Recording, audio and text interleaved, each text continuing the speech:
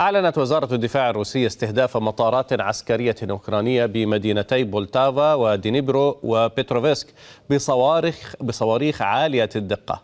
أكدت الوزارة تدمير 67 موقعا عسكريا أوكرانيا خلال الليلة الماضية مشيرة إلى استهداف مستودعات للوقود وسط أوكرانيا كانت تزود وحدات أوكرانية شرق البلاد ووسطها كما أعلنت الوزارة إسقاط مروحيتين من طراز مي 24 إلى جانب 24 طائرة مسيرة يوم أمس.